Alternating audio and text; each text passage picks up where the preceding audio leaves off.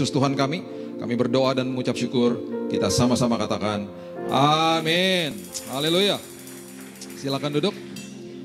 Shalom. Apa kabar? Luar biasa. Pertama kali ke sini terima kasih Pak Wijaya. Saya lihat-lihat preaching log saya gitu ya. Saya kenal Pak Wijaya nih udah dari tahun 2008 Pak ternyata Pak. Dari Riverside dulu. Jadi udah 10 tahun berarti ya. Wow. Luar biasa. Uh, enak ya dekat laut ya. Saya lewat-lewat sini tadi, wow, dekat laut. Baunya beda langsung. Oke. Okay. Uh, saudara, saya mau berikan uh, pengajaran yang sebenarnya saya sedang menulis bukunya dan uh, nggak bisa memang hanya disampaikan secara singkat saja tapi saya berusaha untuk rangkumkan ini dalam 40 menit 45 menit ini supaya saudara mengerti uh, uh, paling tidak intinya esensinya gitu ya Uh, dan ini harus dimengerti oleh tubuh Kristus karena kita sedang mengalami sebuah masa-masa yang yang yang perlu uh, menjadikan kita dewasa dan kita perlu hadapinya dengan sikap yang dewasa. Nah, uh, saya akan berikan judulnya yang mungkin saudara suka dengan dengan kata ini karena kata ini adalah kata yang sangat hangat dengan orang-orang Kristen. Ya, judulnya berkat. Jadi saudara pasti suka dengarnya, wow berkat gitu. Tapi ini yang justru menjadi beban bagi hidup saya selama bertahun-tahun terakhir ini. Karena pengertian daripada berkat ini sudah jauh melenceng dan kita tidak mengerti arti sebenarnya. Padahal Yesus mengajarkan ini di uh, khotbah di bukit dan lain sebagainya dan dia sudah mempersiapkan kita semuanya untuk masuk ke dalam zaman-zaman seperti ini. Yang saya katakan zaman seperti ini adalah zaman yang sebenarnya tubuh Kristus sedang dianiaya. Sedang dianiaya. Dan untuk itu malahan Kristus sendiri mengatakan bahwa kita sedang diberkati. Nah, kita perlu mengerti karena yang sering kita pikirkan dan kita mengerti paradigma kita berkat itu sesuatu yang nyaman dan enak bagi saya dalam bentuk yang berbeda. Seringkali kita artikan berkat itu dalam bentuk materi malahan. Saya mau beritahu kepada saudara, saya sudah mempelajari ini sudah enam tahun, saudara dan saya nggak akan beranikan khotbahkan kalau saya nggak pelajari sampai dalam. Dari kejadian sampai wahyu, ada ratusan kata-kata berkat, tidak ada satupun hubungannya dengan materi. Tidak ada. Malahan di perjanjian baru, kalau saudara pelajari kata berkat, itu semua hubungannya dengan spiritual life, dengan bagaimana kita menjadi dewasa rohani.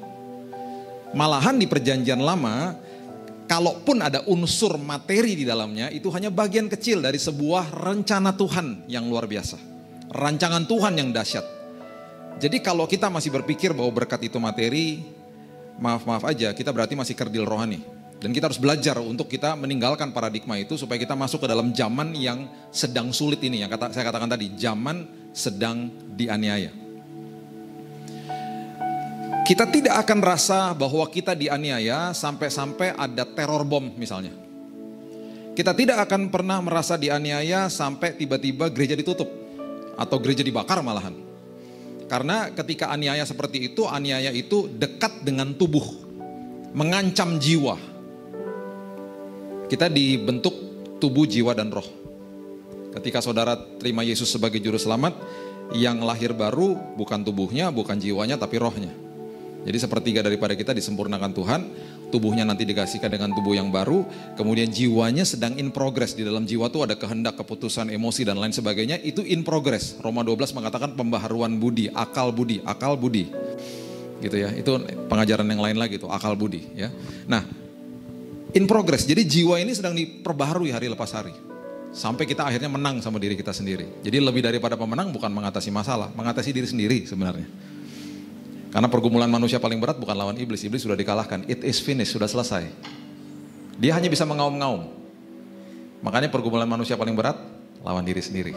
Iblis sudah dikalahkan. Nah, oleh sebab itu kita perlu mengerti aniaya itu sebenarnya udah lama. Bukan pas lagi ada bom-bom aja, bukan. Aniaya sebenarnya sudah kita alami sejak lama di dalam jiwa. Kenapa? Karena kita dianiaya sama media. Kita dianiaya sama smartphone kita. jiwa kita dianiaya. Makanya di 2 Petrus dikatakan apabila kita tidak menjaga orang benar, kalau tidak menjaga pendengaran dan penglihatan, karena itu adalah dua daripada beberapa panca indera manusia yang paling banyak menyerap informasi. Kalau itu nggak dijaga, jiwa yang benar akan tersiksa, firman Tuhan katakan. Jadi kita sudah tersiksa sebenarnya, karena kita nggak kita nggak nggak jaga, kita kita nggak ngerti bagaimana meregulasi diri sendiri tentang smartphone. Dan akhirnya ketika seminar hamba Tuhan bisa 70% daripada mereka yang terlibat pornografi. Karena sangat mudah ditemukan di sini. Dan itu aniaya. Itu aniaya. Tapi kita belum merasa bahwa itu sesuatu yang mencekam gitu ya. Karena belum mengancam tubuh, belum mengancam jiwa. Belum mengancam maksudnya nyawa kita gitu. Bulan lalu Saudara pasti dengar ada bom di Surabaya. Saya sudah 10 tahun terakhir ini sebulan bisa dua kali ke Surabaya. Karena tubuh Kristus atau atau uh, jumlah gereja atau jumlah jemaat terbesar setelah Jakarta di di uh, di Indonesia ini yang terbanyak tuh di Surabaya. Malah gedung gereja terbesar di Asia malahan sekarang ini, Asia Tenggara dan sekarang katanya Asia itu ada di Surabaya.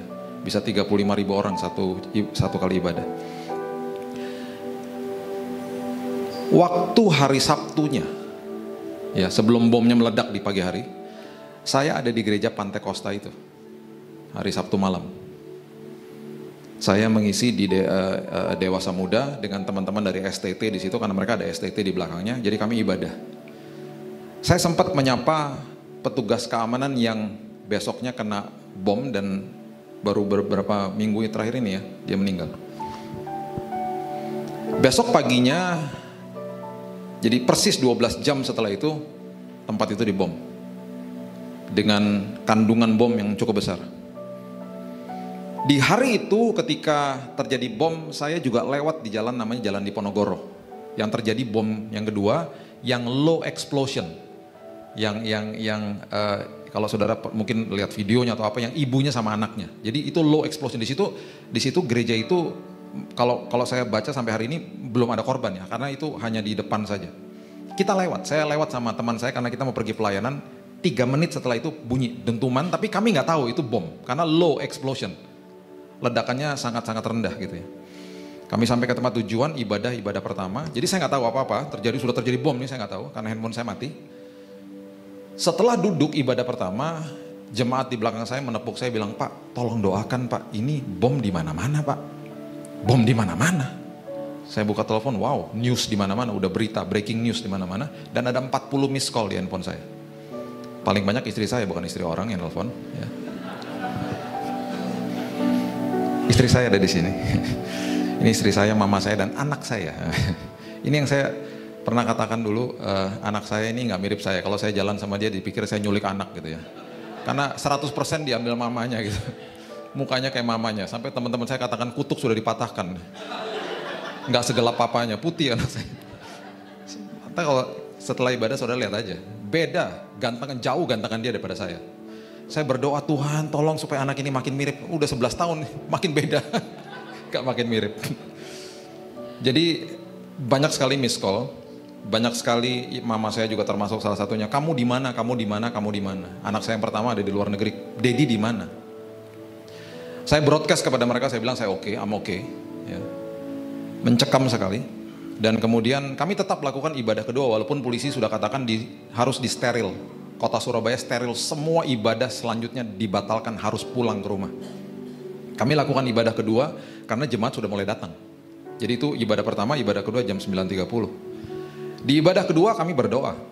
Sebagai hamba Tuhan tetap saja lutut saya bergetar waktu saya berkhotbah. Saya ngeliat-ngeliatin pintu belakang, ada yang bawa ransel nggak masuk ke dalam tetap takut lah. Nama juga manusia. Itu pertama kali ya, eh, kantor saya di Menteng. Kita pernah mengalami bom Tamrin ya. Itu nggak jauh-jauh dari kantor saya. Tapi bagi saya nggak begitu mencengkam. Ini betul, kemarin betul-betul mencengkam sekali karena saya dekat dengan dengan kejadian itu dan saya ada 12 jam di gereja yang baru dibom paginya. Dan banyak korban di situ. Setelah selesai ibadah siang kami pulang Surabaya udah kayak kota mati. Istri saya katakan cepat udah pulang aja ambil pesawat yang lebih cepat. Nggak bisa, full. Itu karena hari Kamisnya hari kenaikan, hari Jumatnya hari kejepit. Jadi orang traveling dan juga banyak orang Surabaya yang keluar dari kota Surabaya karena Surabaya nggak pernah kena bom. Gak pernah kena bom. Akhirnya jam 7.30 saya di drop di Juanda. Kalau saudara ngerti airport itu ada terminal 1, terminal 2. Saya di terminal 1 karena saya terbang ke Halim. Jam 7.30 saya sampai di sana. Di lounge di mana saya saya selalu duduk. Jam 7.30 tuh makanan udah kalau nggak setengah habis sudah. Orang makan di situ. Ini nggak ada yang makan, penuh makanannya. Gak ada satupun pegang makanan. Kenapa? Stres. Semua nonton TV, semua pegang handphone nonton breaking news. Penuh airportnya Sepertinya saudara kalau dengar ada pin drop, ada sesuatu yang jatuh bisa dengar karena nggak ada yang ngobrol. Semuanya mencekam, semuanya nonton televisi, semuanya diem. Teman saya yang baru drop saya bilang begini, puji Tuhan bro katanya. Kenapa? Semua kompleks Juanda di shutdown, ditutup. Tolnya ditutup, kenapa? Ketemu bom di Rusunami di Sidoarjo. Saudara pasti dengar ya, setelah itu ada bom meledak di Rusunami. Dan airport itu ada di Sidoarjo. Shutdown. Puji Tuhan, saya udah dropin. Udah drop kamu di sini gitu. Saya tunggu boarding dan uh, puji Tuhan semuanya on time, saya pulang. Sampai di Halim biasanya istri saya kalau jemput dia tunggu di mobil. Kali ini dia nggak tunggu di mobil, dia tunggu di pintu kedatangan. Waktu saya keluar dia peluk saya seperti dia nggak pernah peluk saya sebelumnya. Sampai-sampai saya berpikir apakah perlu ada bom sampai dipeluk kayak begitu. Sempat hari itu saya bilang sama istri saya, jangan kasih tahu anak saya yang kedua ini, karena dia masih 11 tahun. Saya nggak mau dia dengar dari mana-mana karena dia selalu kalau saya pergi dia doain saya dan dia tahu ke mana saya pergi. Karena dia suka khawatir anaknya, dia suka kepikiran nantinya. Jadi saya bilang jangan nyalakan televisi, udah diemin aja. Karena ini anak punya hati yang sangat sensitif. Besoknya pagi-pagi saya sengaja bangun pagi dan saya harus jelaskan kepada dia dengan bahasa yang dia mengerti. Bagi saya berat. Saya nggak pernah mengalami pengalaman seperti itu. Orang tua saya harus jelaskan kepada saya negaramu dalam keadaan terancam begini, kamu harus doa. Nggak pernah. Jadi saya harus jelaskan kepada dia dengan bahasa sederhana yang dia mengerti. Saya katakan kamu harus doakan Indonesia dan lain sebagainya. Hati saya makin menangis karena beberapa hari setelah itu ada beberapa anak-anak kecil yang akhirnya yang menjadi korban dan meninggal. Dan itu akhirnya memicu saya untuk kemudian menyelesaikan buku saya tentang topik ini. Berkat. Karena Yesus sudah persiapkan kita untuk masuk ke dalam zaman ini. Sebelum itu kita buka dulu di Roma pasal yang kelima, ayat yang kedua sampai kelima. Roma pasal yang kelima, ayat yang kedua sampai kelima. Saya berharap setelah ini selesai, saudara mendapatkan paradigma yang baru, saudara di refresh sama Tuhan, supaya saudara siap masuk ke dalam zaman-zaman seperti ini. Roma 5 ayat yang kedua dikatakan, oleh dia kita juga beroleh jalan masuk oleh iman kepada kasih karunia ini di dalam kasih karunia ini kita berdiri, kita bermegah dalam pengharapan akan menerima kemuliaan Allah. Dan bukan hanya itu saja, kita malah bermegah. Bermegah itu boasting, berani, menatap, menantang malahan. Apa? Juga dalam kesengsaraan kita. Karena kita tahu bahwa kesengsaraan menimbulkan ketekunan, ketekunan menimbulkan tahan uji, tahan uji menimbulkan pengharapan, pengharapan tidak mengecewakan karena kasih Allah telah dicurahkan dalam hati kita oleh Roh Kudus yang telah dikaruniakan kepada kita. Ini maksudnya ayat ini adalah Paulus mengatakan, saya ini bermegah, saya berani menghadapi kesengsaraan hidup. Karena ada sesuatu yang dia sudah mengerti di dalam kehidupannya. Yang Yesus mau ajarkan dan Alkitab mau ajarkan kepada kita, setiap kali ada masalah, dan sudah pasti ada masalah, harus masuk ke dimensi yang lebih tinggi, yang lebih baru, dan harus mulai berdoanya tuh begini saudara. Karena kita sudah terbiasa, kita tuh mau enak. Kita bangun pagi, kita mau enak kita bangun pagi daging ini selalu menagih secara langsung atau tidak langsung, aku mau sesuatu yang nyaman dan aman bagi saya. Udah pastilah, dan itu nggak salah. Keinginan daging seperti itu nggak salah. Tapi akhirnya kalau kita tidak meregulasi keinginan daging ini, kita akhirnya masuk ke dalam sebuah paradigma yang salah, kita kejar event. Kita nggak kejar kebenaran. Makanya kenapa event tuh rame. Karena sesuatu yang gratifikasinya sangat cepat dan memberikan kesenangan sangat instan dan sangat cepat. Makanya konsep rame. Orang yang kejar kesenangan, kejar event, kejar sesuatu momen. Maunya cepat-cepat. Orang yang kejar kebenaran itu orang kejar proses. Dan itu jarang. Makanya kenapa di dalam tubuh Kristus, di dalam gereja, Paskah sama Natal rame. Orang kejar eventnya. Rame, festif dari kata festival. Festif, datang, wah rame, ada pembicara tamu, ada ada penyanyi tamu, ada kado, ada makan-makan, oh rame, datang aja, Paskah Natal. Saudara harus bangga sama diri saudara yang setiap minggu datang ke gereja. Karena saudara kejar proses. Makanya banyak orang datang begini kepada saya. Pak, konseling dong, mau nikah. Kapan nikahnya? Tiga bulan lagi. Cari aja orang lain, saya nggak mau. Kejar eventnya, kejar hari hanya, kejar hari nikahnya. Nggak kejar prosesnya. Pak mau nikah pak, minta konseling. Kapan nikahnya? Minggu depan. Goodbye. Selamat aja loh. Sampai akhirnya saya di dalam benak saya akhirnya jadi menghakimi orang secara tidak langsung. Jadi orang datang minta konseling jadi ada capek deh gitu. Sampai satu hari satu satu pasangan masih muda datang kepada saya dan saya udah hakimi duluan dalam hati saya. Sampai, akhirnya saya minta maaf sama dia. Kak, konseling kak. Dalam hati saya, aduh ini lagi, ini lagi. Berapa lama lagi mau nikah? Selalu pertanyaan itu saya tanya. Satu setengah tahun lagi. Saya sampai begini, jarang nih orang kayak kamu saya nyari orang kayak kamu nih, saya nyari selama ini gak pernah ketemu. Sampai saya terduduk, sampai lemes loh lutut saya. Kok ada orang kayak kamu ternyata ya? Satu setengah tahun lagi. Saya bilang sama dia waktu hari itu, saya nggak usah tanya izin sama istri saya, pasti juga dia mau. Kapan memulai kita ketemuan? Tiap bulan itu bisa beberapa kali dia ketemu. Sampai kita didatengin ke rumah. Niat macet-macet kadang-kadang. Karena macet habis kerja mereka tuh datang bisa jam 8, jam setengah 9 malam. Sampai jam 12 midnight tuh ngobrol di rumah. Mereka bertengkar di depan kita karena karena salah paham dan lain sebagainya. Kejar proses. Kejar belajar tentang segala apa pun mereka belajar. Kita juga belajar. Bukannya berarti kita lebih hebat nggak. Kita lebih banyak pengalaman aja. Cuman itu aja kok. Kita saling belajar. Saya juga belajar dari mereka. Saya nggak pernah berpikir dalam hati saya atau atau atau uh, dalam prinsip kekristenan saya di atasnya siapa pun nggak pernah. Orang ini pasti punya pengalaman lebih daripada saya di dalam bidang tertentu. Saya punya pengalaman dalam bidang tertentu lebih banyak daripada orang ini dan kita saling bertukar pikiran itu aja. Saya nggak pernah nangis di dalam sebuah pernikahan sampai saya datang ke pernikahannya mereka. Mereka pertama kali ciuman di depan altar. Segitu-gitunya sampai jaga kekudusan. Hari ini mereka menjadi pasangan yang luar biasa bahagianya. Mereka sangat berhasil, mereka luar biasa. Karir mereka pun naik. Karena mereka kejar proses. Mereka kejar kebenaran. Dan itu gak enak. Itu gak enak. Yuk kita kejar itunya. Makanya carilah dahulu kerajaan Allah dan kebenarannya. Maka segala sesuatu baru ditambah-tambahkan dalam hidupmu. Jangan kejar yang ditambah-tambahkan.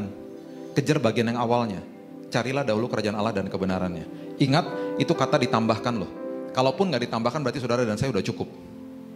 Sudah cukup. Itu kata itu itu kalimat terus digali. Itu ditambahkan tuh berarti ekstra, shall be added. Tanpa itu pun saudara dan saya sudah cukup. Gak usah kejar-kejar itunya, itu kedaulatan Tuhan. Mau ditambahin syukur enggak juga terima kasih Tuhan. Kita bejana kok. Di dalam ikut sama Tuhan yang harus diperbaiki, makanya ketika menghadapi masalah atau menghadapi sebuah kesangsaran hidup, yang Paulus mau tekankan adalah begini, jangan lagi berdoa untuk masalahnya hilang atau masalahnya lenyap berdoa di dalam apa pun pergumulan ini bukan masalah yang berubah, saya yang berubah. Itu baru dahsyat, itu baru dewasa, itu arti daripada berkat. Jadi, kalaupun masalahnya ada, terima kasih Tuhan. Masalahnya dihilangkan itu kedaulatan Tuhan, terserah Tuhan. Tuhan yang tahu kok. Tapi selama perjalanan iman ini, sedalam perjalanan proses ini, apa pun itu boleh terjadi Tuhan, sampai di ujung pasti saya tahu saya akan sampai di ujung dengan selamat karena Tuhan menggandeng tangan saya. Dan selama perjalanan ini Tuhan, saya mengucap syukur karena saya akan dirubahkan Tuhan. I am change. Itu maksudnya. Itu maksudnya kata bermegah di depan kesengsaraan. Karena aku tahu Tuhan ada di sampingku dan di ujung daripada ini semuanya mendatangkan kebaikan. Dan sering kali di dalam benak kita mendatangkan kebaikan, masalahnya hilang. Bukan. Seringkali masalahnya masih ada. Dan tambah berat. Tapi mendatangkan kebaikan kenapa? Aku yang berubah. Bejana ini jadi bejana yang lebih dahsyat, lebih luar biasa. Kapasitas diperbesar, perkara yang baru-baru, yang dahsyat. Terus dipercayakan nanti sama hidup kita. Ingat ya, kita ini adalah pengelola bukan pemilik. Matius 25 mengatakan kita adalah pengelola bukan pemilik. Makanya talenta itu dititipkan 5, 2, dan 1 dan harus digandakan, harus dikelola. Makanya kehidupan kekristenan bukan kepemilikan, stewardship, pengelolaan kok. Makanya ketika kita mengerti mengelola makin dahsyat, makin luar biasa. Kita nggak memiliki apa-apa. Mazmur 24 mengatakan apa pun yang ada di bawah langit milik kerajaan surga. Bukan punya kita. Kita hanya pengelola. Kita nggak akan bawa apa-apa. Kita datang nggak bawa apa-apa, pulang nggak bawa apa-apa kok. Datang telanjang, pulang telanjang. Di hari kita meninggal, nama kita pun lenyap. Dipanggilnya apa? Jenazahnya di mana? Hilang namanya. Lahir dikasih baju, meninggal ntar dikasih baju lagi. Nggak bisa komplain kita. Habis dimandikan jenazah dikasih baju, bisa komplain nggak bisa. Kita nggak suka baju, kita bisa komplain nggak bisa. Di peti mati. Ganti dasinya nggak cocok nih. Menjerit langsung yang melayat, bubar yang melayat. Nggak bisa pengelolaan. Nah makannya Yesus ajarkan begini. Kita baca ya, Matius pasal yang kelima coba. Ayat yang ke sembilan. Ini aneh, kata berkat disandingkan dengan kata derita. Nah ini saya mau jelaskan kepada saudara. Ada tiga kata di dalam perjanjian lama dan perjanjian baru yang arti daripada berkat. Di perjanjian lama namanya barak atau esher, saya nggak bisa gali lebih dalam karena waktu, barak dan esher. Di dalam perjanjian baru namanya makarios. Oke, barak, esher, dan makarios adalah arti atau akar kata daripada kata berkat. Itu nggak ada hubungannya sama materi. Artinya adalah berbahagia atau bersuka cita di dalam rencana Tuhan dalam hidupmu. Itu artinya. Berbahagia, bersuka cita di dalam rancangan Tuhan. Jadi Tuhan mau buat apa aja yang Tuhan titipkan itu adalah bagian daripada berkat. Makanya barak, esher atau makarios. Nah di dalam perjanjian baru diterjemahkan dari bahasa Yunani itu kata makarios. Kalau saudara ke Israel ada satu bukit di atasnya tulisannya blessed, blessed, blessed tentang ayat ini. Tapi lembaga Alkitab kenapa sampai uh, menerjemahkan dengan kata berbahagia? Karena diterjemahkan langsung dari bahasa aslinya atau makarios. Bukan bahasa Inggris. Lembaga Alkitab tidak pernah menerjemahkan Alkitab saudara yang saudara pegang itu dari bahasa atau versi bahasa Inggris nggak pernah. Mereka terjemahkan dari bahasa asli. Makanya keluar kata-kata ini berbahagialah. Yang artinya sebenarnya berkat. Kalau saudara buka Alkitab bahasa Inggris saudara, kata berbahagia ini tulisannya blessed. Jadi dibacanya begini. Matius 5 ayat 9 mengatakan begini, berbahagialah atau diberkatilah orang yang membawa damai. Karena mereka akan disebut anak-anak Allah. Perhatikan ayat 10. Berbahagialah atau diberkatilah orang yang katakan bersama-sama saya dua tiga apa? Dianiaya oleh sebab kebenaran karena mereka yang mempunyai kerajaan surga. Berbahagialah atau diberkatilah kamu jika karena aku kamu dicela, dianiaya dan kepadamu difitnahkan segala yang jahat. Disebut kafir malahan. Jadi justru ketika tubuh Kristus sedang dibom, ketika tubuh Kristus sedang dianiaya, ketika saudara sedang mengalami proses kehidupan, menghadapi masalah dalam kehidupan, saudara dan saya sedang diberkati sama Tuhan. Itu artinya jauh daripada materi. Ada hubungannya sama materi. Jadi lain kali saudara mengatakan kepada teman saudara, God bless you, Tuhan berkati ya. Itu artinya terima kasih berarti rancangan Tuhan terjadi sama hidupku untuk untuk aku kelola dengan sebaik-baiknya. Itu artinya. Hubungannya sama materi. God bless you, Tuhan berkati. Terima kasih berarti aku dirubahkan Tuhan. Terima kasih berarti aku dibuat dewasa sama Tuhan. Itu arti kata berkat. Makanya kenapa kata berkat disandingkan dengan kata derita di sini. Yesus loh yang ngomong. Makanya saya sedih ketika mendengar hamba Tuhan berdiri di atas bilang, puji Tuhan, saya berdoa bagi jam tangan saya, sepatu saya harga ratusan juta. Akhirnya ada jemaat yang ngasih. Pertama dia ngasih kode sama jemaatnya, dia suka barang-barang mahal. Kedua dia melecehkan firman Tuhan. Ketiga dia mengatakan kepada jemaatnya bahwa berkat adalah materi. Dan akhirnya saya nggak heran ketika ada jemaat-jemaat yang sampai menjual barang-barangnya sampai bangkrut. Mengatakan begini, Pak saya nggak mau ke gereja lagi. Kenapa Bu? Nggak mau lagi Pak, saya pahit sama gereja. Saya dikatakan kalau saya kasih semua sama Tuhan, saya multiplikasi, multiplikasi. Yang dijanjikan materi-materi. Saya bilang ini, apa bedanya ya gereja sama Gunung Kidul? Apa bedanya Tuhan sama dewa? Apa bedanya? Karena dia datang ke gereja, dia berikan kondisi kepada Tuhan. Tuhan, 10% ya Tuhan, balikin loh Tuhan, berkali-kali lipat. Balikin, balikin Tuhan, balikin. Emangnya 10% pancingan? Tuhannya dewa? Nggak gitu. Tuhan ini 10% buat Tuhan. Kalau Tuhan suruh kasih saya kasih lebih lagi, nggak apa-apa Tuhan saya kasih lebih. Kenapa saya berani ngomong gini? Karena saya pernah kasih 100%. Tuhan yang suruh. Waktu pertama kali saya mengalami pengalaman seperti begini, doa ulang nggak? Doa ulang. Ngeri, takut. Iya, 100% soalnya. Kalau ada suara roh kudus 20%, oke lah cincai lah 20%, 30, oke lah. Mulai mulai berat, 40, 40 udah oke lah Tuhan. 100%, sampai pas lagi doa sampai begini. Yang benar Tuhan, 100%. Karena apa? 10% punya Tuhan, 90 persennya pun punya Tuhan. Bukan punya kita. Dititipkan kok. Paradigma kita harus berubah. Ikut Tuhan tuh bukan untuk saya, bukan aku lagi. Makanya kalau kata pikul salib itu artinya stauros. Stauros itu artinya mati. Mati. Orang mati nggak bisa tersinggung, orang mati nggak bisa marah, orang mati nggak bisa sensitif. Mati. Stauros bukan orang banyak mengartikan salah karena begini nggak belajar bahasa aslinya aslinya jadi begini. Aduh, tadi aku lagi mau pelayanan, ban motor sampai bocor. Aduh, lagi pikul salib nih. Celah pikul salib. Aduh, gue pergi pelayanan nih, lagi-lagi flu nih, tapi tetap datang pelayanan, lagi pikul salib. Celah pikul salib. Ke dokter aja lo pikul salib. Beli obat di Indomaret pikul salib. Pikul salib itu mati, stauros artinya. Ntar satu waktu kita belajar tentang itu. Bagaimana kriteria jadi murid Yesus. Ada lima. Salah satunya pikul salib. Mati. Berarti apa? Kita di, di, dikatakan sama Yesus kalau kamu mau jadi murid. Orang percaya itu beda sama murid loh. Orang percaya banyak orang percaya. Murid itu susah. Murid itu berarti masuk ke dimensi yang lebih dalam lagi. Berarti apa? Kalau disakiti orang, di, di, di, dikeselin sama orang, kita nggak bisa marah. Dituntut untuk apa? Memberikan kasih kok kepada mereka. Makanya saya selalu katakan khotbah di atas ini bagi saya gampang. 20 tahun saya pelayanan mimbar. Jemaat-jemaat cuman 40 menit ada yang dengerin, ada yang ketawa, ada yang begini, ada yang tidur, ada yang tidurnya maksimal gitu. Banyak lah. Cuman satu arah oke okay lah. Khotbah paling susah di luar sana. Ketika mobil saya diserempet sama motor, disalip sama motor, kaget kan, tin, motornya berhenti, buka helm. Apa loh? Nah, itu khotbah paling berat. Istri saya punya kata-kata password, pegang kaki saya, sayang udahlah sayang, ntar jangan-jangan di jemaat. Oh, iya. Jemaat tuh kata-kata yang meluntuhkan hati saya. Oh iya jemaat. Tapi setiap kali ada motor kurang ajar, dia bilang jemaat, jemaatnya kurang ajar semua. Ah, malas sih. Jemaat, semua jemaat. jemaat gak gitu kali. semua jemaat.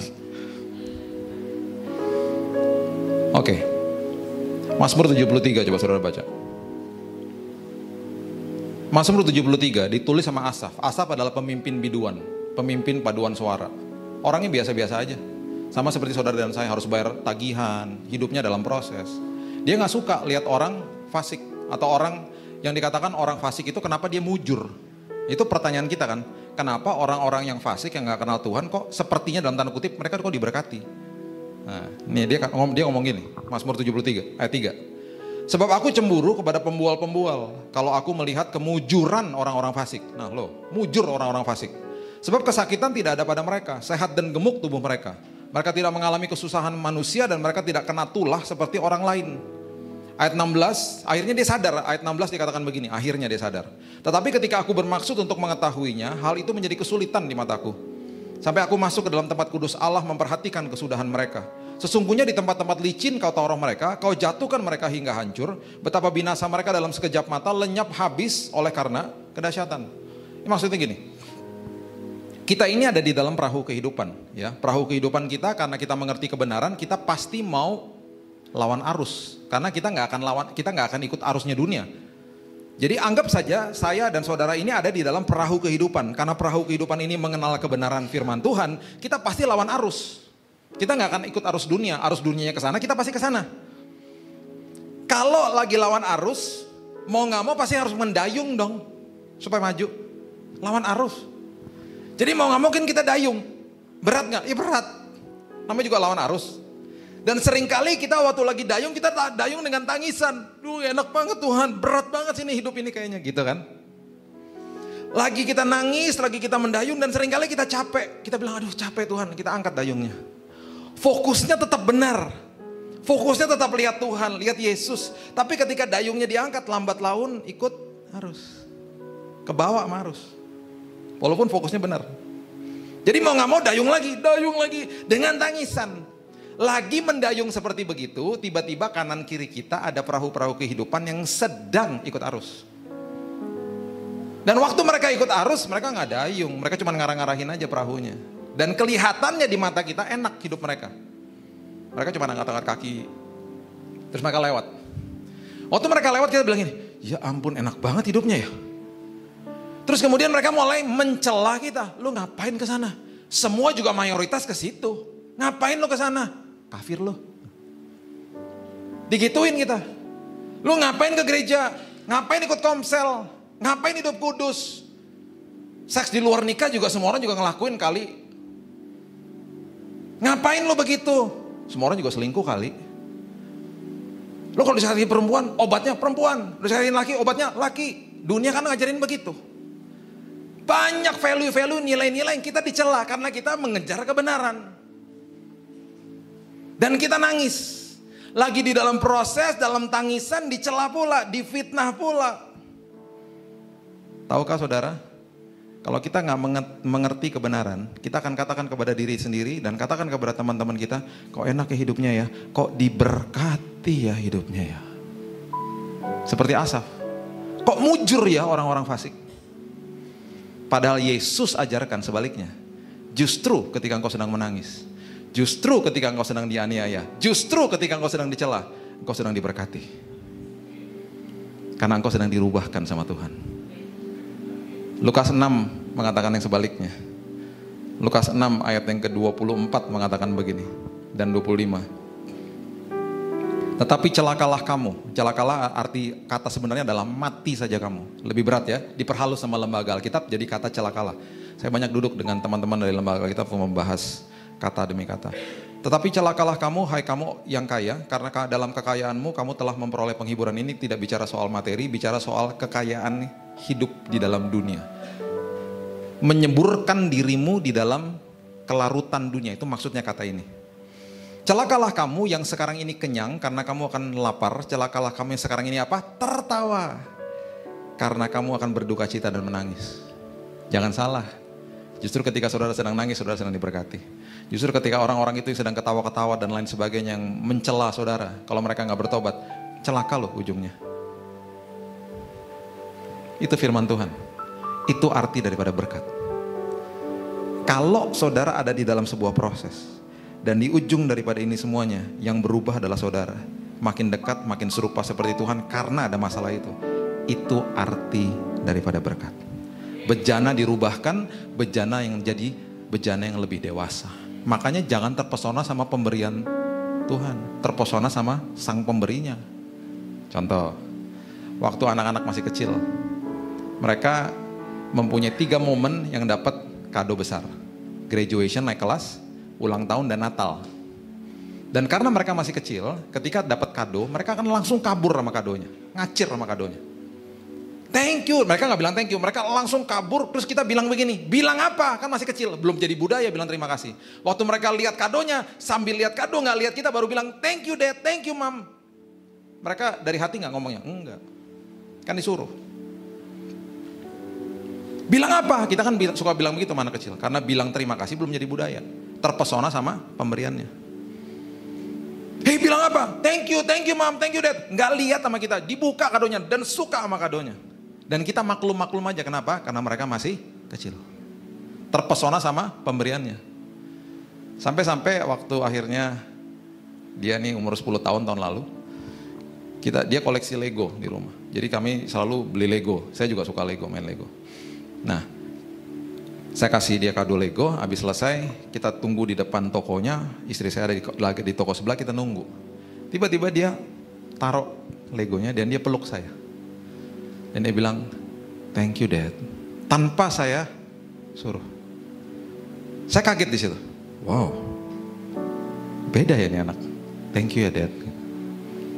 Terus dia mulai tanya, Dedi mesti kerja berapa lama sampai bisa beli kado itu? Nah, dia mikir nih belinya pakai uang. Anak saya yang pertama dulu pulang sama omanya bilang begini, Dad, jadi kalau perlu duit, Dad, ada tempat namanya ATM dahsyat, Dad. Duitnya banyak, Dad. Oma pencet-pencet-pencet-pencet keluar uang. Kalau menurut aku, Dad, jadi pencetnya lamaan dikit, uangnya lebih banyak keluarnya. Pencet lamaan dikit, kalau rekeningnya kosong, ketelan kartunya, nak. Heng, ketelan kartunya, hilang kartunya. Dipanggil bank kita besok. Terus dia mulai terproses. Terus dia mulai tanya sama saya, tadi Dedi bayar pakai kartu ya, is that credit card? Yes. Berarti nggak bayar dong, enak aja bayar, ntar ada tagihannya. Kalau tagihannya datang nggak enak rasanya. Sampai di rumah kadonya nggak dibuka selama dua hari. Malam itu dia peluk saya. Berkali-kali dia bilang, Dad, thank you ya. Tanpa saya suruh. Langsung hari itu saya mulai berpikir dan sadar, oh anak ini sudah dewasa terpesona sama bapaknya yang botak ini. Bukan sama pemberiannya lagi. Ngerti maksudnya ya? Kalau saudara masih terpesona sama, udah udah salah pengertian berkatnya, terpesona sama materi, materi, mujizat, mujizat, masih kerdil rohani. Terpesona lama Yesusnya, kejar Yesusnya. Orang kusta ketika disembuhkan yang balik berapa? 10. Ada 10 yang balik berapa? Satu. Tahu itu artinya apa? Makanya harus dipelajari bahasa aslinya. Lukas 17 coba buka. Ayat 17. Lukas 17 ayat yang ke-17 coba. Lukas 17 ayat yang ke-17. Lalu Yesus berkata, bukankah ke sepuluh orang tadi semuanya telah menjadi tahir? Di manakah yang sembilan orang itu? Tidak adakah di antara mereka yang kembali untuk memuliakan Allah selain daripada orang-orang asing ini? Lalu ia berkata kepada orang itu, berdirilah dan pergilah, imanmu telah menyelamatkan engkau. Ini kalau kita bacanya sepintas saja kita nggak ngerti, nggak dapat esensinya. Imanmu telah menyelamatkan engkau itu ada artinya. Di dalam NIV dan NKJV, Alkitab bahasa Inggris, itu dikatakan your faith has made you well. Kata well itu ada artinya. KJV dengan lebih jelas lagi katakan di King James Version, thy faith has made thee whole. Whole dan well dan menyelamatkan itu arti katanya, akar katanya adalah sirna atau betul-betul sempurna. Dengan kata lain, orang yang kusta ini, yang terpesona sama Yesus, waktu dia kembali kepada Yesus, sudah disembuhkan kan? Sudah. Tapi waktu dia dikirim kembali, bukan sekedar sembuh, tapi bekas kustanya hilang. Yang sembilan masih ada bekas kustanya. Sembuh nggak? Sembuh. Tapi masih ada bekasnya. Orang masih tahu, oh bekas kusta loh. Gitu. Yang satu ini, dia betul-betul whole dan well. Whole dan well tuh betul-betul dia sirna bekas kustanya. Jadi dapat double portion. Dapat perkenanan Tuhannya itu double. Karena terpesona sama Yesus. Yuk, terpesona sama Yesus yuk. Terpesona sama Yesus setiap hari. Tuhan terima kasih. Aku mau diproses, aku mau dirubah. Karena ketika aku yang dirubah itu arti berkat yang sebenarnya. Hana saingannya siapa sih? Penina. Itu dua istri daripada Elkana. Hana pengen punya anak dengan motivasi yang salah. Dan sering kali kita juga begitu. Karena Penina juga punya anak, dia nggak punya anak. Penina mencela-mencela terus. Punya anak dong, punya anak dong Tuhan. Dengan motivasi yang salah. Tuhan nggak kasih-kasih tuh. Sampai satu waktu akhirnya Hana berubah. Dia katakan begini, Tuhan kalau kau berikan anak itu kepada aku, Anak laki-laki itu artinya Zara Aneshim. Artinya ketika engkau berikan kepada aku, itu bukan milikku tapi aku akan serahkan kepadamu Tuhan. Dan di Alkitab dikatakan nanti saudara baca sendiri di rumah, satu Samuel, Hana berdiri, kata berdiri adalah kon. Berdiri itu artinya, arti katanya adalah aku berubah, to restore, to redevelop myself. Aku berubah Tuhan. Ketika aku minta anak ini bukan untuk kepentinganku, tapi untuk Tuhan. Dikasih nggak? Dikasih. Lahirlah siapa? Samuel. Makanya ketika kita terus berubah, bejana ini berubah. Itu arti berkat dan udah gitu nanti perkara-perkara besar terus dititipkan dalam hidup saudara. Itu maksudnya. Dan setelah itu pada akhirnya di dalam apa pun kehidupan saudara, lepaskan pengampunan. Dianiaya, lepaskan pengampunan. Hukum yang kedua adalah mengasihimu sesama manusia toh. Sebelum kata itu ada kata begini, yang sama dengan itu. Sama dengan apa? Yang pertama, yang pertama apa? Mengasihi Tuhan Allahmu dengan segenap hatimu tuh. Jadi yang kedua, ketika disuruh mengasihi sama manusia, sebelum ada kata itu ada kata begini, yang sama dengan itu, sama dengan yang pertama. Jadi kalau nggak mengasihi sama manusia berarti nggak mengasihi Tuhan. Seringkali kita bilang gini, aduh udahlah nggak apa-apa lah Tuhan, ngasih Tuhan kalau ngasih manusia itu ntar aja lah Tuhan, nggak bisa. Hukum itu, hukum. Dan hukum tidak pandang bulu. Saudara mau, mau udah telat segimanapun juga, yang namanya hukum lampu merah, lampu merah. Nggak ada lampu merah. Kita tawar menawar. Gue telat nih, hijau-hijau. Nggak ada. Hukum. Patuhi. Nggak bisa udah tawar menawar. Hukum. Nah ini yang dahsyat. Ya, saya berikan ini sebagai penutup supaya saudara mengerti. Ya. Yohanes 15 ayat 9, ayat, sorry ayat 10 sampai 11 saja. Yohanes 15 ayat 10 sampai 11. Ini maksudnya.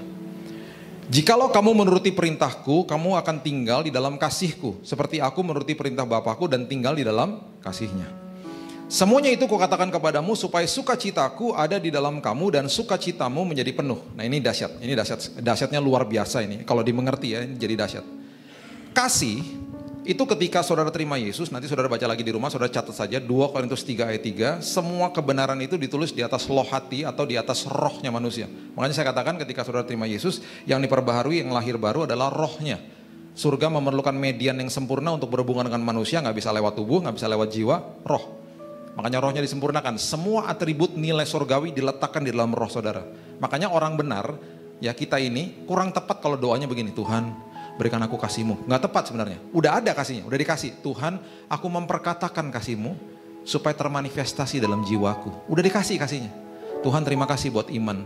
Aku mau aktifkan iman itu Tuhan. Tuhan terima kasih buat kekudusan. Aku mau aktifkan kekudusan. Aku mau mengambil keputusan untuk menjadi kudus Tuhan. Udah dikasih kok. Semua itu sudah diberikan, diletakkan di atas loh hati. Bukan di atas loh batu lagi, dikatakan begitu. Ya. Nah, kasih itu diletakkan di dalam roh. Kasih agape. Kasih itu karena diletakkan di roh, tidak bisa diusik, tidak bisa dicuri sama iblis. Yang kita suka salah mengerti, kasih itu kita samakan dengan yang namanya jatuh cinta. Itu letaknya di dalam emosi. Semua yang letaknya di emosi bisa hilang kapan saja. Makanya jatuh cinta bisa hilang kapan saja. Orang bisa jatuh cinta dalam hari ini, besoknya di, di, dikeselin sama orangnya, orangnya nyebelin, bisa hilang jatuh cintanya. Makanya dunia ketika mengenal jatuh cinta, masuk dalam pernikahan modalnya jatuh cinta, nggak karu-karuan. Jatuh cinta tuh rasa-rasa butterfly di sini, nervous-nervous, itu, itu jatuh cinta. Karena emosi, main nama emosi, pikiran, kehendak. Nah setelah lima tahun, enam tahun lagi setelah itu, setelah menikah, rasa-rasa itu kan udah mulai hilang. Kasih yang kicks in. Ketika kasih agape itu masuk dan dia menguasai kehidupan itu yang membuat hubungan jadi langgeng. Nah dunia nggak mengenal itu. Dunia beroperasi atas perasaan aja, emosi jiwa. Ketika itunya hilang, hilang juga hubungannya. Ngerti maksudnya? Makanya kasih itu dahsyat. Makanya kasih bukan perasaan. Kasih adalah keputusan. Love is a decision. Bukan perasaan. Makanya 1 Korintus 13 ayat 4 sampai 7 nanti saudara baca. Kasih itu murah hati, tidak kasih itu panjang sabar, tidak mementingkan diri sendiri. Itu enggak bukan perasaan. Enggak ada saudara bangun-bangun pagi gini, duh rasa-rasa murah hati ini enggak ada. Murah hati adalah keputusan. Aku mengambil keputusan untuk murah hati. Aku mengambil keputusan untuk mengampuni. Nah, itu maksudnya. Karena sudah diletakkan di dalam roh. Supaya termanifestasi di dalam jiwa. Menguasai jiwa, emosi, kehendak.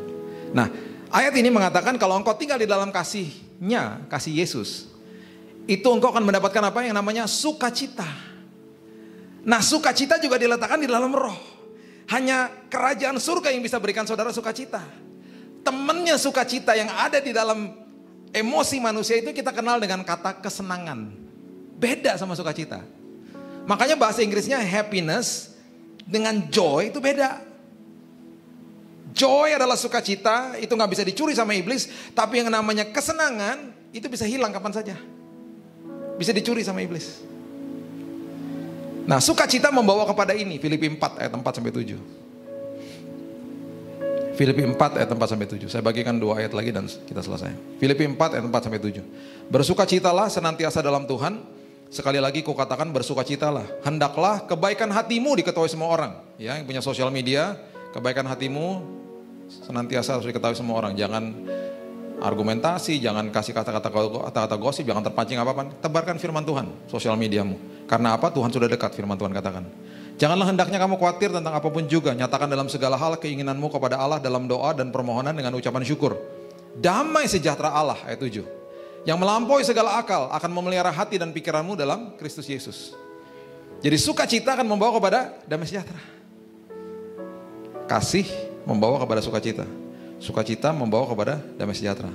Bukankah itu yang Paulus tulis juga di Galatia 5? Buah roh urutannya begitu loh. Kasih, sukacita, damai sejahtera, dan seterusnya. Dia nggak asal tulis. Makanya kalau lepaskan kasih, kerajaan surga akan memberikan sukacita. Ada sukacita akan dikasih damai sejahtera. Letaknya juga di roh, nggak bisa dicuri sama iblis. Temennya damai sejahtera yang ada di emosi itu namanya ketenangan. Ketenangan bisa hilang, bisa terusik kapan saja. Waktu ada bom, Tenang nggak? Ya enggak. Waktu ada bom, senang nggak? Ya enggak. Waktu ada masalah, tenang nggak? Enggak. Senang nggak? Enggak. Tapi anak Tuhan yang Paulus katakan bisa bermegah di depan kesengsaraan. Kenapa? Karena saya bisa tidur nyenyak Tuhan. Walaupun ketenangan, kesenangan gak ada, tapi tetap ada sukacita dan damai sejahtera. Beda. Dunia gak bisa kasih itu. Kerajaan surga yang kasih sukacita sama damai sejahtera. Makanya kenapa Petrus tidur nyenyak, ayat terakhir. Kisah Rasul 12. Ayat 6 sampai 7. Ayat favorit jemaat, ayat apa? Ayat terakhir. Di tempat ini nggak gitu ya, haus semua firman Tuhan. Di tempat lain, ayat favorit jemaat, ayat terakhir pak. Di sini haus, ya. mukanya haus semua. Kisah Rasul 12 ayat 6 sampai 7. Pada malam sebelum Herodes hendak menghadapkannya kepada orang banyak, Petrus tidur di antara dua orang prajurit, terbelenggu dengan dua rantai. Selain itu prajurit-prajurit pengawal sedang berkawal di muka pintu. Petrus baru tahu ya, temannya Yakobus baru dipenggal loh kepalanya sama Herodes Agrippa. Besok dia akan ada kemungkinan besar pun akan dihukum mati. Dan malam hari itu dia dibelenggu dengan rantai, dikawal dengan pengawal-pengawal. Pertanyaan saya, tenang nggak? Nggak ada ketenangan. Senang nggak? Nggak ada kesenangan. Perhatikan ayat yang ketujuh. Tiba-tiba berdirilah seorang malaikat Tuhan dekat Petrus dan cahaya bersinar dalam ruangan itu. Malaikat kalau datang, manusia mengalami dua hal. Kalau nggak kaget, takut. Dan ini SOP-nya malaikat nih, selalu begini. Dia pasti udah capek tuh pas itu ya, datang. Jangan takut, eh rempong lu ah. Gitu. Dalam, dalam hati pasti gitu. Takut mulu gitu. Tuh SOP-nya udah jelas tuh. Kasih nomor satu, bilang jangan takut. Nomor dua, jelaskan siapa dirimu. Nomor tiga, baru berikan kabar good news atau kabar-kabar tentang apa yang kamu sampaikan. Pasti gitu tuh SOP-nya. Jangan takut terus dijelaskan. Saya malaikat dari itu gitu kan biasa gitu. Nah, di dalam ruangan ini Alkitab mengatakan malaikat itu berdiri dekat Petrus dan cahaya bersinar loh dalam ruangan itu. Ini dalam sejarah perserikatan kemalaikatan ya. Yang pertama kali didokumentasikan di Alkitab, manusianya nggak takut dan nggak kaget karena manusianya nggak bangun. Makanya di ayat 7 dikatakan begini. Malaikat itu menepuk Petrus untuk membangunkannya, katanya bangunlah segera maka gugurlah rantai itu dari tangan Petrus. Nggak ada cerita kayak begini. Yang malaikatnya harus bangunin manusianya. Bangun, bangun, bangun, bangun. Saya rasa teman-teman malaikat ini pasti lagi ngetawain dia. Kurang sakti loh. Manusia tidur, kurang sakti. Diem loh.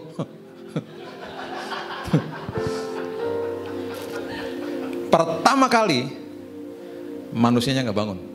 Malaikat loh sebelahnya. Cahaya bersinar loh. Berarti apa? Petrus tidur nyenyak. Indonesia akan ada shalom. Indonesia akan tidur nyenyak akan ada sukacita dan damai sejahtera kalau tubuh Kristus terus melepaskan kasih Tuhan. Lepaskan pengampunan, lepaskan kasih Tuhan. Kalau enggak kita siapa lagi? Harus berdoanya begini. Nggak apa-apa berdoa Tuhan, berdoa bagi Indonesia. It's okay, good. Naik satu level lagi. Tuhan, apa yang aku bisa buat buat Indonesia? Tuh. Kita mengasihi negara ini. Kita ditempatkan di negara ini bukan kebetulan. Jangan kabur, Jangan punya pikiran, oh, kabur aja, pindah aja, jangan. Tuhan kasih kita spesifik di tempat ini, karena Tuhan punya maksud. Gak salah kita ada di sini. Indonesia akan penuh dengan kemuliaan Tuhan. Kalau tubuh Kristus mengerti, walaupun aku dianiaya, aku sedang diberkati Tuhan. Walaupun aku sedang dianiaya, aku sedang dirubah sama Tuhan. Itu arti berkat. Dan di ujung daripada ini semuanya aku melepaskan pengampunan. Kasih aku lepaskan, supaya ada shalom atas kota Jakarta, shalom atas kota Surabaya, shalom atas kota-kota yang lain, atas negaraku Indonesia. Akan ada damai sejahtera dan sukacita. Dan ini adalah kesempatan di mana kita menjadi lembaran terbukanya Yesus, memberitahu kepada dunia, khususnya negara ini, ini loh Yesus saya. Engkau aniaya aku, aku akan lepaskan pengampunan. Biar engkau lihat Yesus. Gereja jadi mercusuar. Jadi jawaban bagi bangsa ini. Mari kita berdoa. Thank you Jesus. Terima kasih Tuhan. Bapak kami mengucap syukur